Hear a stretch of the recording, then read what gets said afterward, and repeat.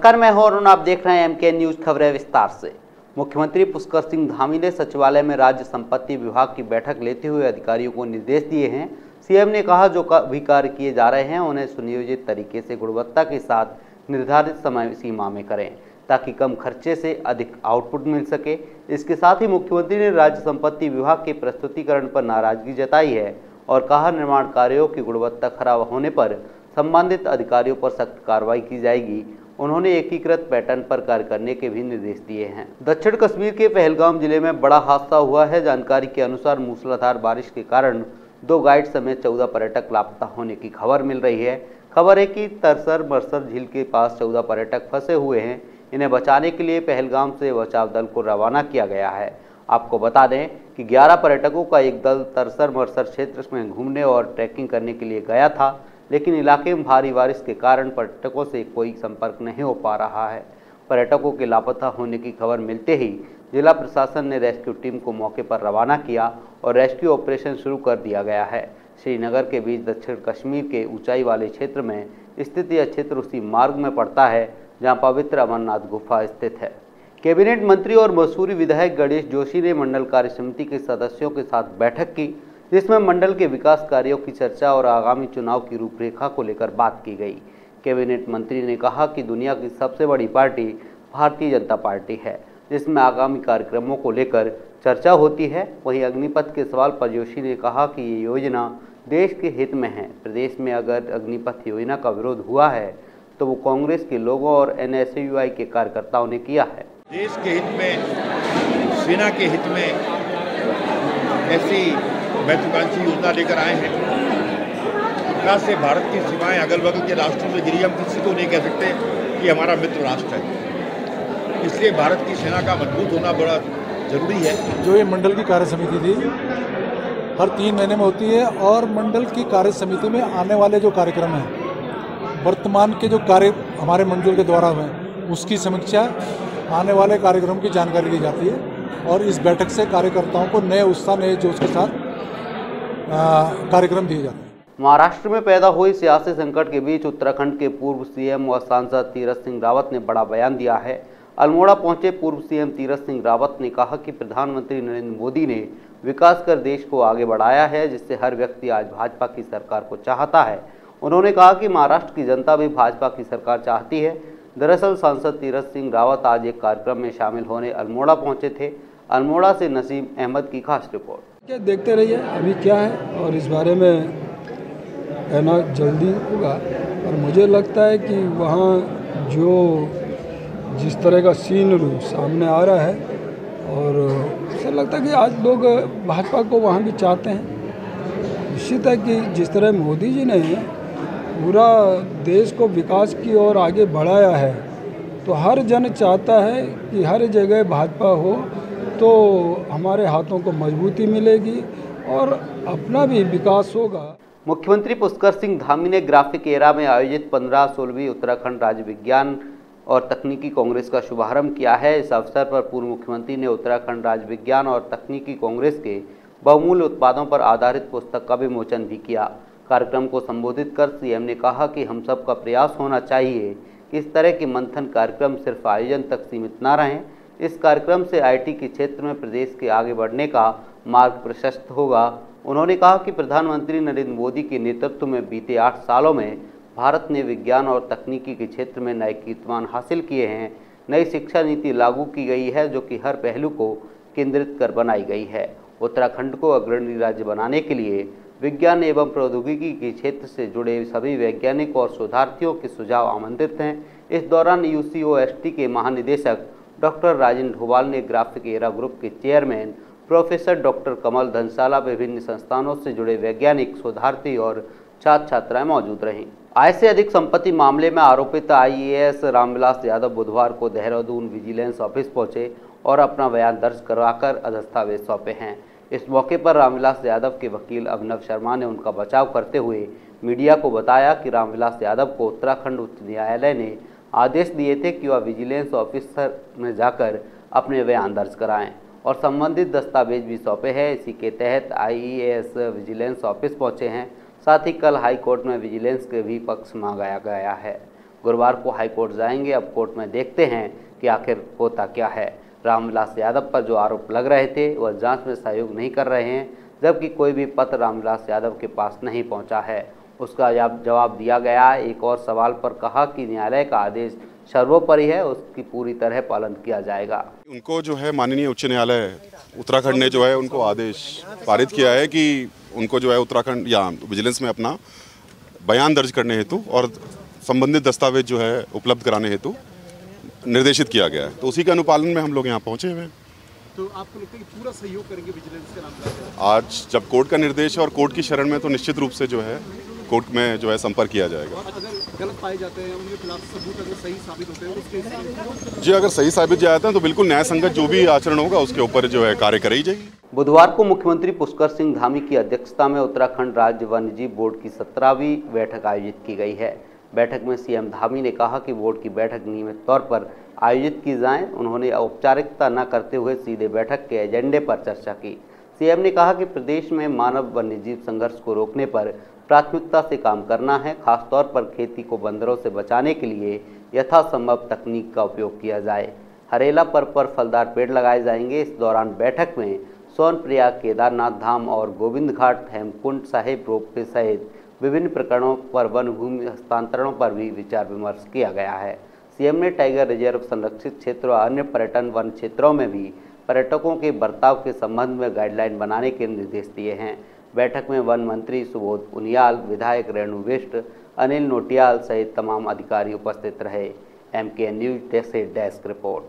Monsoon की दस्तक के साथ ही केदारनाथ यात्रा की रफ्तार धीमी हो गई है। बीते एक सप्ताह में प्रत्येक दिन दर्शनार्थियों की संख्या घट रही है। साथ ही बाजारों में पैदल मार्ग व केदारपुरी में यात्रियों का दबाव पहले जैसा नहीं है। वहीं सोनप्रयाग से भी प्रतिदिन सुबह से दोपहर तक यात्रियों की धाम रवानगी भी कम हुई है। आपको बता दें कि 6 मई से शुरू हुई केदारनाथ यात्रा में इस वर्ष नए आयाम स्थापित कर रही है। कापाटो घाटन पर जहाँ रिकॉर्ड तेईस हज़ार पाँच सौ बारह श्रद्धालुओं ने दर्शन किए थे, वहीं यात्रा के शुरुआती छः दिनों में ही धाम में दर्शनार्थियों का आंकड़ा एक लाख के पार पहुँच गया था। मई के 26 दिनों में जहाँ चार लाख पैंतालीस हज़ार दो सौ तीन श्रद्धालु धाम पहुँचे, वहीं जून के 19 दिनों में तीन लाख ग्यारह हज़ार पाँच सौ सैंतालीस श्रद्धालु पहुँच चुके हैं। जानकारी के अनुसार मानसून की दस्तक के साथ ही केदारनाथ में यात्रियों की संख्या में भी कमी आने लगी है। Desk report, M news. रुकेंगे एक छोटे से ब्रेक के लिए। ब्रेक के बाद फिर होंगे हाजिर।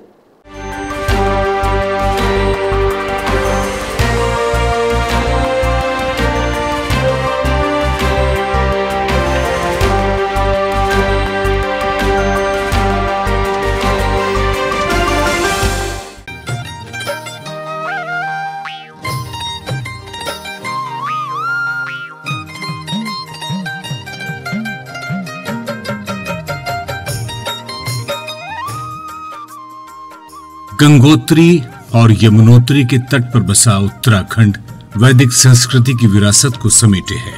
महत्वपूर्ण तीर्थ स्थलों के प्रदेश उत्तराखंड में है, इसलिए इस प्रदेश को देव भूमि भी कहा जाता है। हस्तशिल्प, हथकरघा और पर्यटन उत्तराखंड के प्रमुख व्यापार हैं, जिन्हें सरकार भी बढ़ावा दे रही है। भारत की सबसे ऊँची पर्वत चोटी नंदा देवी उत्तराखंड में है तो विश्व प्रसिद्ध फूलों की घाटी भी यही है। राजनीति परिप्रेक्ष्य में उत्तराखंड की सबसे अलग भूमिका है। सरकार किसानों को बढ़ावा देने और हित में कई काम कर रही है। अंतर्राष्ट्रीय स्तर पर उत्तराखंड अपनी सबसे अलग पहचान रखने वाला प्रदेश है, जिसकी हर खबर आप देखते हैं सच के साथ, सच की बात के साथ।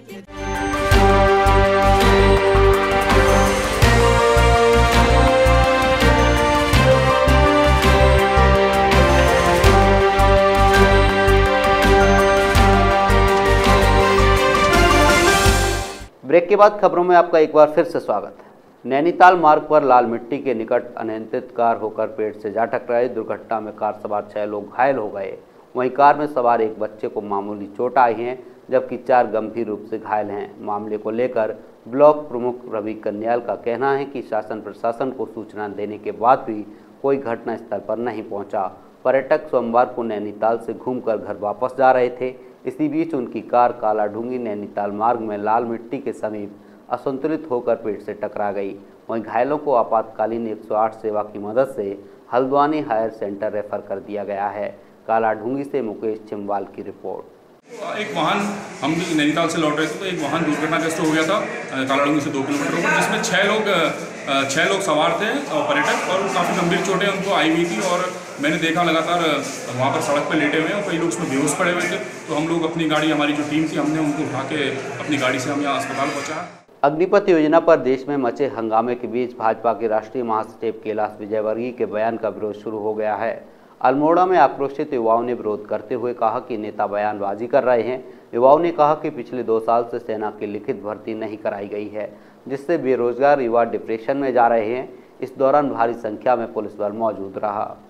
मंत्री जो गलत बयानबाजी कर रहे हैं और उनका कहना है कि पहले हमारा युवा सेना की सेवा करेगा, देश की सेवा करेगा और उसके बाद जो अग्निवीर का जो टैग लेकर आएगा, वो हमारे सदन में, हमारे कार्यालय में काम काम करेगा इससे युवाओं में बहुत ज़्यादा रोष है और ये सेना का अपमान भी है। रानीखेत संयुक्त मजिस्ट्रेट जयकिशन गोविंद सिंह महारा अस्पताल का निरीक्षण करने पहुँचे। इस दौरान उन्होंने अस्पताल में भर्ती मरीजों से उनका हालचाल जाना और अस्पताल की व्यवस्थाओं के बारे में जानकारी ली, जिसके बाद उन्होंने अस्पताल प्रबंधन और कर्मचारियों को ज़रूरी दिशा निर्देश दिए। खबर अब पौड़ी से है, जहाँ कॉलेज जकेटी में प्रबंधन समिति के चुनावों को लेकर कई खामियाँ सामने आई हैं। बताया जाता है कि विद्यालय में प्रबंध समिति के चुनाव 26 मार्च को संपन्न हुए थे। चुनाव के पारदर्शी न होने के मामले को लेकर सामाजिक कार्यकर्ता राजेश सिंह राजा कोहली ने शिक्षा मंत्री व आयुक्त गढ़वाल मंडल से शिकायत की है। वहीं शिक्षा मंत्री व आयुक्त ने माध्यमिक शिक्षा गढ़वाल मंडल महावीर विष्ट को जाँच के निर्देश दिए थे। जाँच में पाया गया कि विद्यालय प्रबंध समिति के गठन का चुनाव नियमानुसार नहीं हुआ था। पौड़ी से मुकेश वछेती की रिपोर्ट। जखेटी इंटर कॉलेज में मैनेजमेंट का एक प्रकरण था। वहाँ पर इलेक्शन हुआ था। इलेक्शन कुछ लोगों ने विरोध किया कि नहीं साहब, इलेक्शन गलत हुआ है। तो विभिन्न स्तरों पर शिकायतें की गई शिकायतकर्ता के द्वारा। जिलाधिकारी पौड़ी ने भी मुझे जाँच के लिए लिखा है। और कमिश्नर गढ़वाल मंडल ने मुझे जाँच के लिए लिखा। साथ ही साथ जकेटी में मैंने शिकायत की थी कि बाहरी लोगों को वहाँ का सदस्य बनाया गया है और जिला प्रशासक योजना के तहत चुनाव नहीं कराए गए। तो मैंने जिलाधिकारी जी को आयुक्त जी को और विधायक और मंत्री जी को सबको मैंने लेटर लिखा था शिकायती पत्र लिखा था। उसके बाद उन्होंने सबने जाँच अधिकारी बना दिए अपर निदेशक देहरादून के लाल कुआँ के रेलवे क्रॉसिंग गेट पर रेलवे सुरक्षा बल ने अभियान चलाते हुए फाटक के नीचे से बाइक निकालने वालों पर शिकंजा कसा है। इस दौरान भाजपा के मंडल महामंत्री राजकुमार सेतिया का बेटा दबंगई दिखाते हुए निकलने का प्रयास कर रहा था, जिसे मौके पर मौजूद आरपीएफ की महिला उप निरीक्षक मनीषा मीणा ने पकड़ लिया। मामले की भनक लगते ही प्रांतीय उद्योग व्यापार मंडल और भाजपा नेताओं का रेलवे फाटक पर जमावड़ा लग गया वहीं घंटों आरपीएफ की भाजपा नेताओं और व्यापार मंडल नेताओं से नोकझोंक होती रही, लेकिन आरपीएफ ने किसी की एक ना सुनी और कार्रवाई करते हुए पाँच मोटरसाइकिलों को जब्त कर न्यायालय में पेश किया है। रेलवे लाइन पर इतनी भीड़ रहती है, यहाँ पर बंद रहता है बहुत ज़्यादा तो लोग परेशान होते हैं धूप में। अब ऐसा कोई मामला था नहीं वैसे मेरा बेटा मेरे घर से आ रहा था, पीछे साइड वहीं पास में मेरा घर है, वहाँ से आ रहा था रेलवे क्रॉसिंग से बहुत दूर था। वो इंस्पेक्टर वहाँ पे बैठी हुई थी, उन्होंने उनको बुलाया और मोटरसाइकिल उनको ले ली और चाबी दो चाबी दो, ज़बरदस्ती चाबी लेकर और रेलवे स्टेशन पहुँचा दी इसको कह वैसे तो ये बहुत गलत बात है, ऐसे यहाँ के तो इधर बिंदु खत्ता है, राजीव नगर है सेंचुरी पेपर मिल है, कई कॉलोनियाँ हैं इधर इधर लोगों का जाने का रास्ता यही है। उत्तराखंड जल विद्युत निगम भ्रष्टाचार के मामले में एक बार फिर सुर्खियों में है। इस बार मामला डाक पत्थर के व्यासी जल विद्युत परियोजना से जुड़ा हुआ है। दरअसल व्यासी जल विद्युत परियोजना में जब पावर हाउस और सुरंग निर्माण का कार्य चल रहा था, तब हथियारी नामक जगह पर एक डंपिंग जोन बनाया गया। वहीं इसमें डंपिंग जोन का मलबा यमुना नदी में न गिरे, इसको लेकर हथियारी में 40 लाख रुपए का जूट मेंटिंग तैयार किया गया, जिसमें प्लांटेशन का कार्य करवाया गया ताकि प्लांटेशन से मलबे को नदी में जाने से रोक सकें। लेकिन यहाँ की हकीकत कुछ और ही बयां कर रही है। डंपिंग आर्ट पर जंगली घास के अलावा और कुछ भी दिखाई नहीं दे रहा था। सवाल ये उठता है कि यदि विभाग द्वारा जूट मेंटिंग और प्लांटेशन के लिए 40 लाख रुपए खर्च किए गए हैं तो अब प्लांटेशन यहाँ पर दिखाई क्यों नहीं दे रहा है? वहीं जब मामले को लेकर जल विद्युत परियोजना ईडी राजीव अग्रवाल से बात की तो उन्होंने अपना पल्ला झाड़ लिया। विकास नगर से इंद्रपाल सिंह की रिपोर्ट। अल्मोड़ा में चोरी की एक बड़ी वारदात सामने आई है। चोरों ने एक शिक्षिका के सोने मकान से 14 लाख की चोरी को अंजाम दिया है।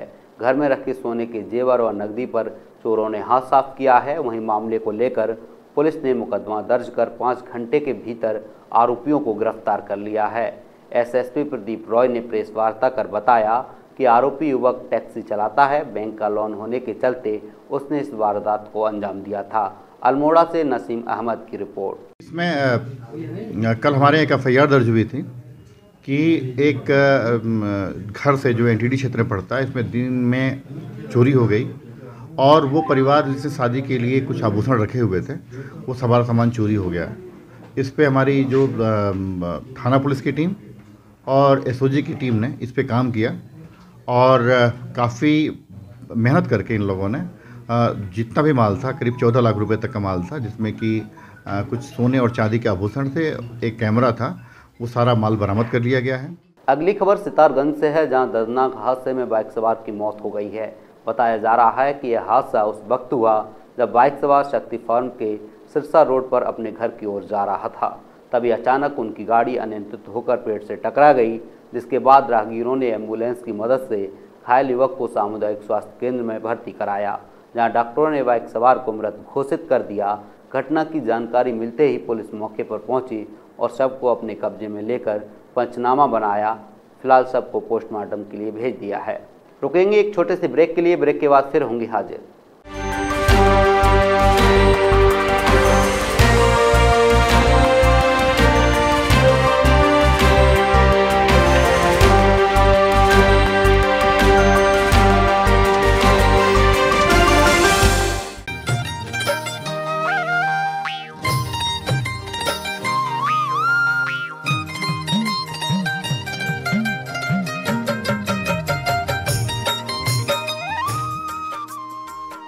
गंगोत्री और यमुनोत्री के तट पर बसा उत्तराखंड वैदिक संस्कृति की विरासत को समेटे है। महत्वपूर्ण तीर्थ स्थलों के प्रदेश उत्तराखंड में है, इसलिए इस प्रदेश को देव भूमि भी कहा जाता है। हस्तशिल्प, हथकरघा और पर्यटन उत्तराखंड के प्रमुख व्यापार हैं, जिन्हें सरकार भी बढ़ावा दे रही है। भारत की सबसे ऊँची पर्वत चोटी नंदा देवी उत्तराखंड में है तो विश्व प्रसिद्ध फूलों की घाटी भी यही है। राजनीति परिप्रेक्ष्य में उत्तराखंड की सबसे अलग भूमिका है। सरकार किसानों को बढ़ावा देने और हित में कई काम कर रही है। अंतर्राष्ट्रीय स्तर पर उत्तराखंड अपनी सबसे अलग पहचान रखने वाला प्रदेश है, जिसकी हर खबर आप देखते हैं सच के साथ, सच की बात के साथ।